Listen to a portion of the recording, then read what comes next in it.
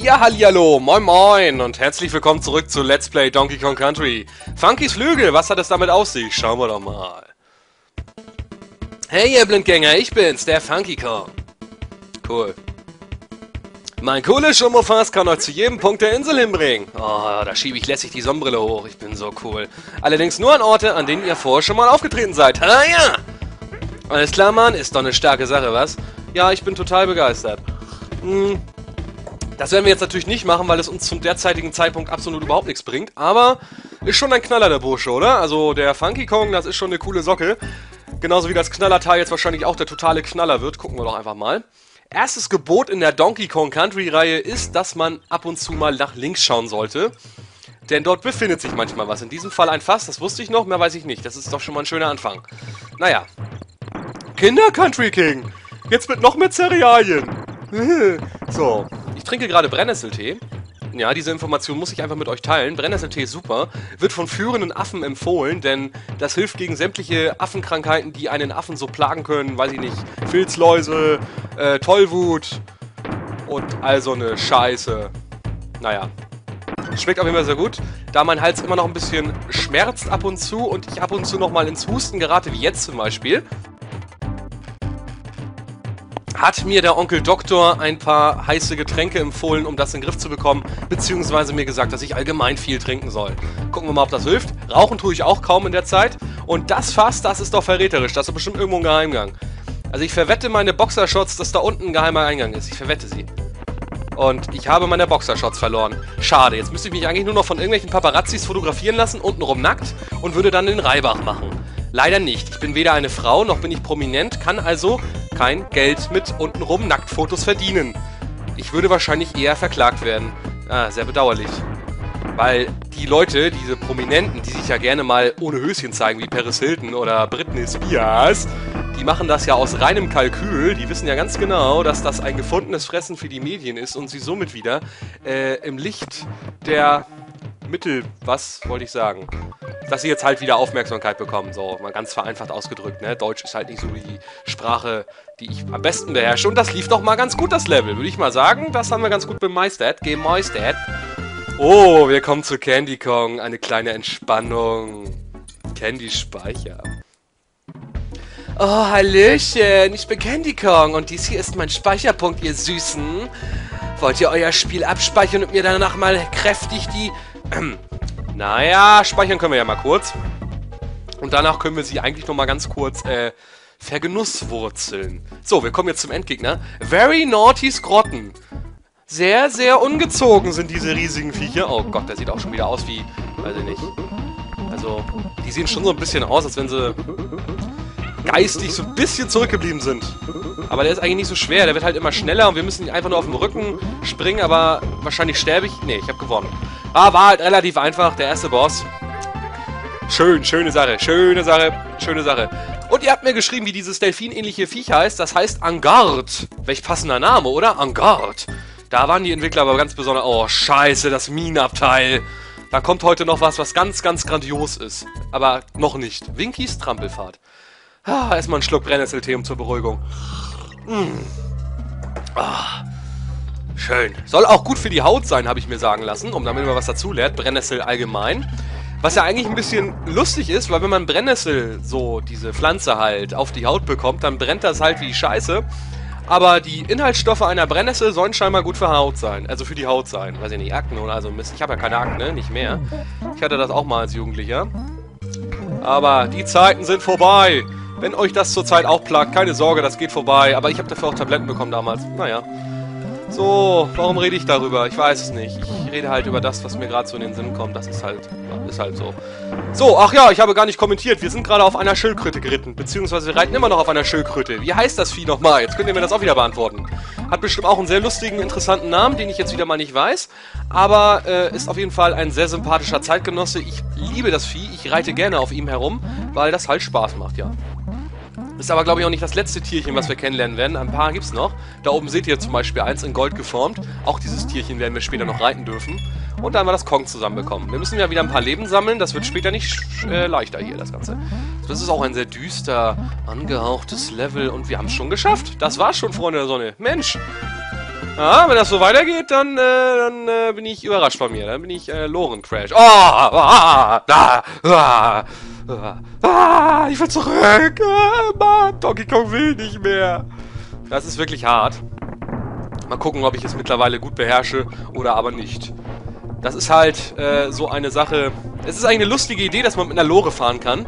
Nur bedeutet das natürlich, dass ich mein komplettes Geschicklichkeitskönnen an diesen äh, an den Tag legen muss. Und da das damit nicht weit her ist, könnte das durchaus eine schwierige Angelegenheit werden. Aber wir gucken mal, ob ich das vielleicht doch noch irgendwie gebacken bekomme.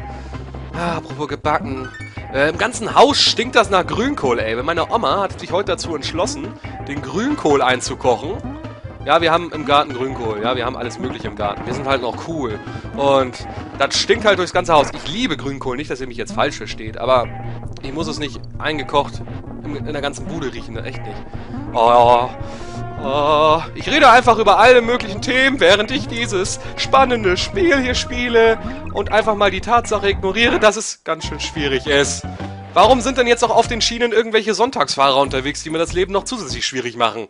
Das muss doch nicht sein. Aber wir haben den Speicherpunkt erreicht, von daher ist das schon mal Halbzeit, würde ich sagen. Aber der zweite Part dieses ähm, Levels ist deutlich härter als der erste.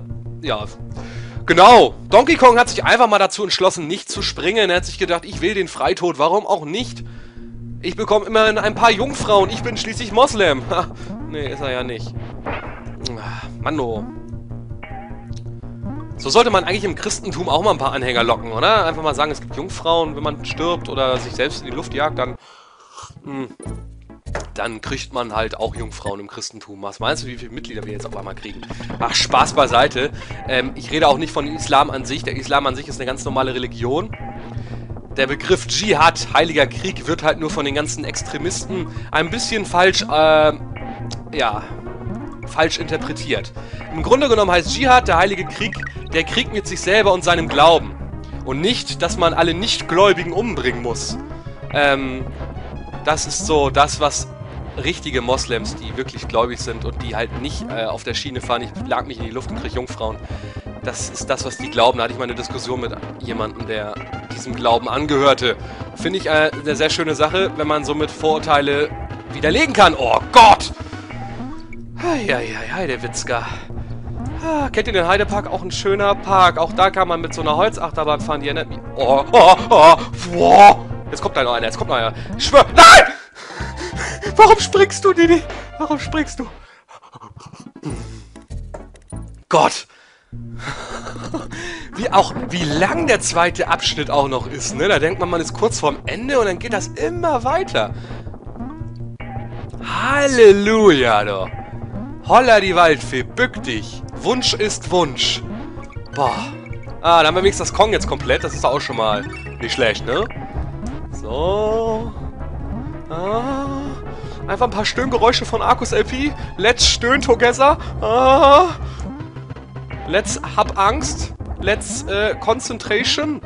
Oh, fuck, das hätte nicht sein gemusst. Da hätte ich ein bisschen später abspringen können. Jetzt kommt gleich die üble Passage da.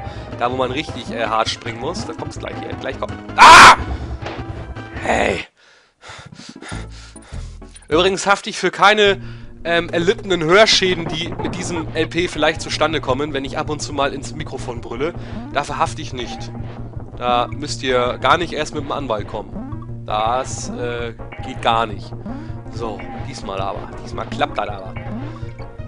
Ich finde das vor allem immer peinlich, wenn ich solche Spiele spiele und mir dann irgendwelche anderen Let's Plays angucke von Leuten, die das dann irgendwie super toll hinbekommen und ich dann hier irgendwie rumgurke wie so eine Gurke. Ne? Oh, schade Banane. schade Banane. Das, das reimt sich. Das Blöde ist, wenn man in den Abgrund springt, dann nützen einem auch zwei Kongs nichts, dann ist man gefickt. So oder so. Ist ja auch nur logisch. Wäre ja ein bisschen doof, wenn ich dann auf einmal aus dem Abgrund wieder herausspringen würde. Das würde so ein bisschen komisch wirken. Oh, oh, das sieht gut aus. Jetzt darf ich nur keinen Fehler mehr machen. Jesus Maria, jetzt weiß er, kommt er, ja, Ah! Jawoll! Ey, das lief, das lief einigermaßen gut, Freunde der Sonne, ohne Witz. Das war jetzt gar nicht so schlecht, der Loren-Crash mit Ausrufezeichen. Goldige Buckel. Ja, so ein bisschen was Goldiges kann ich jetzt gut gebrauchen. Ah, erstmal ganz kurz einen Schluck Tee nehmen. Das hat mich doch ganz schön überstrapaziert. Ich hab doch Hochdruck, Bluthochdruck. Ja, ja, Donkey Kong, lass mal den Harten raushängen. So, was sind das eigentlich für moosbewachsene Kisten, äh, Fässer? Ich sag immer Kisten, Fässer, das äh, verwechsel ich sowieso andauernd. Oh, eine Affe hat einen Reifen. Affe, Reifen. Kann man ja auch im Zoo immer gerne beobachten, dass Affen gerne mit irgendwelchen Autoreifen herumspielen. Beziehungsweise da sich reinlegen und sich dann, äh, weiß ich nicht, äh, einen Keks freuen. Was mache ich da gerade? Reifen. Oh, scheiße. Naja, gut. Muss ich den mitnehmen? Das sieht irgendwie nicht so aus. Warum hüpfen die auch rum wie abgespackte Frettchen? Was soll denn der Scheiß? Ja, abgespackte Frettchen. da kenne ich eine Person, die heißt so. Abspeck, äh, Abspackfrettchen. Also auf YouTube. Macht auch Let's Plays. Thema, äh, anderes Thema, egal. so. Ja, komm. Na komm. Wenn du tanzen willst, dann tanz. So, den Reifen lasse ich mal hier. Den brauche ich doch scheinbar gar nicht. Was ist das eigentlich für eine komische Farbe, die die Wespe jetzt hat, hä? Liegt vielleicht ein bisschen auch an der dunklen Atmosphäre in dieser Höhle, dass die Wespen eine komische Gesichtsfarbe haben. Die kriegen halt die Son das Sonnenlicht nicht so allzu oft zu sehen. Ich meine, das muss ja auch ein Job sein, so als Donkey Kong Country Boss, also als Gegner, der einen sich in den Weg stellt. Ich meine, du bleibst den ganzen Tag auf einer Stelle, bewegst dich hin und her und wartest darauf, dass du irgendjemanden töten kannst. Sprich, einen von den Kongs. Ist das nicht ein total trister, langweiliger Job? Und dazu werden sie gezwungen, diese armen Geschöpfe Gottes. Ist das nicht traurig? Ja, man muss auch ab und zu mal ein Herz für die Bösewichte einer Videospielwelt haben. Das ist ganz wichtig. So, Mittelpunkt ist gut. Oh, der, ah, den brauchen wir. Den brauchen wir. Bin ich mir ziemlich sicher, dass wir den brauchen. Darum holen wir uns direkt einen neuen. Wo ist denn der neue? Ne, komm. Hallo? Ja, Schloch. Ich komm rüber und dann machst du die Messer sowas von hart, dass Harkan nicht mehr sieht, was du bist da. Dass deine, äh, die Ärzte, wenn die Autopsie machen, ne, Autopsie, dass die nicht mehr wissen, wer du warst. Und dann reiße ich dir die Zähne raus. Ja, wenn man jemanden unkenntlich machen will, dann ist es auch manchmal auch ganz schlau, da spreche ich aus Erfahrung, dass man auch die, das Gebiss rausnimmt, denn anhand der Zähne kann man eine Person auch identifizieren. Also Leute, wenn ihr plant, Serienmörder zu werden und nicht erwischt werden wollt, dann solltet ihr an dieses kleine Detail doch bitte denken. So, was haben wir denn da? Bitte macht das nicht. Oh ja! Äh, Frosch, den ich nicht kenne, dessen Name mir nicht bekannt vorkommt. Ist auch egal. Ist mir auch scheißegal, wie der heißt. Das ist auch Jacke wie Hose. Der, der kann von mir aus... Ich nenne ihn einfach Fritz und wenn er anders heißt, das ist jetzt Fritz. Fritz, du altes Luder, du. Nein, Froschi Boschi. Oh nö. Oh mein Junge, Wir waren Freunde fürs Leben. Ich erinnere mich an die guten alten Zeiten. Damals in den 50ern, als wir uns kennenlernten. Da. Als auch alles schwarz und weiß war. Sogar die Erinnerung. Ach man. Oh, wow. Alter Falter, jetzt renne ich aber durch wie auf Speed, wa? So, wenn der Pfeil da ist, ist man fast vorm Ende. Na, das ist aber, das war dämlich. Da laufe ich mit dem Kopf in seine Beine rein. Mhm. Das war echt ein bisschen blöde. Das muss ich äh, ganz ehrlich gestehen, dass das nicht so besonders äh, schlau war. Das war nicht besonders taufrisch, sagen wir es mal so, ne? So. Ja, bisschen kratzen, ne? So. Gehen wir da... Ja, klar! Als wenn sie auf mich gewartet hätte. Und in der Wirklichkeit entspricht das durchaus der Realität. In einem Videospiel. Realität. Hä? Was? Nein. Also in diesem Part äh, habe ich auch wieder ganz komische Sätze, die ich hier am Formulieren bin. Ich weiß selber nicht, was ich ausdrücken möchte. Ich weiß gar nicht, was ich euch mitteilen möchte. Vielleicht könnt ihr das ja... Weiß ich nicht. Ihr kennt doch in der Schule sicher so Buchinterpretationen, die man früher machen musste. Hm? So weiß ich nicht. Könnt ihr ja mit mir auch machen. Könnt ihr ja versuchen, ob ihr da irgendwelche hochwissenschaftlichen Analysen hinbekommt. Da oben ist doch was. Habt ihr da auch was flackern sehen? Müsst ihr mal drauf achten. Wenn ihr mal wieder zurückspult. Da oben hat irgendwas geflackert. Ich weiß aber nicht was. Ich muss ab und zu mal was trinken. Mein Hals ist immer noch ein bisschen katastrophal. Oh, wie süß. Seine Luftblase. Eieiei. Naja. Seine Farbe ist eher giftig anmutend. Ich glaube, der ist auch giftig, der Frosch.